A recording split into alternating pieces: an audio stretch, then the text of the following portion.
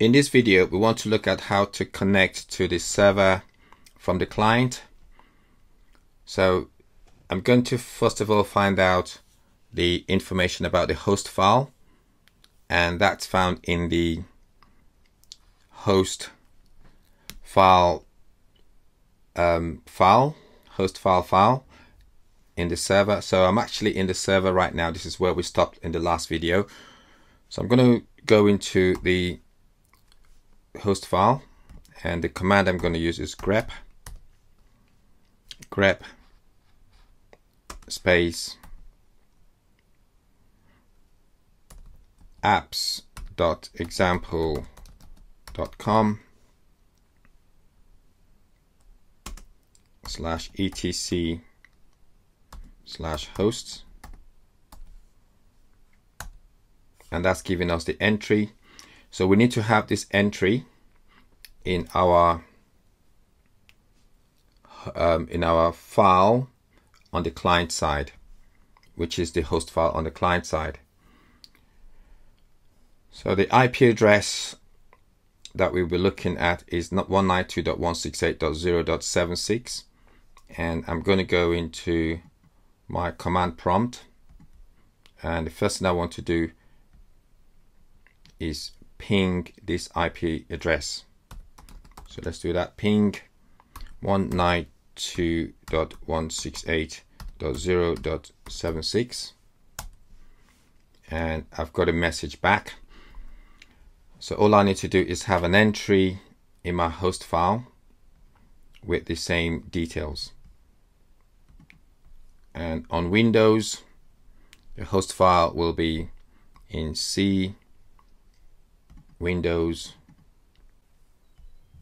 it'll be under System32. So scroll down and look for the folder called System32 and under system 32 you should find a folder called drivers. So under drivers etc. Host so that's the file I want to edit. So edit with notepad. So at the moment I don't have an entry and I'm just going to add an entry.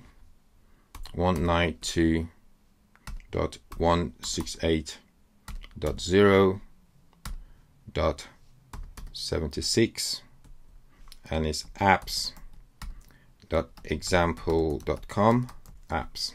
Save it and let's come out of file. So that's saved. So all I need to do then is to open up my browser and connect. So let me open up my Internet Explorer and I'm going to connect to http apps.example.com colon 8000 so that's located the page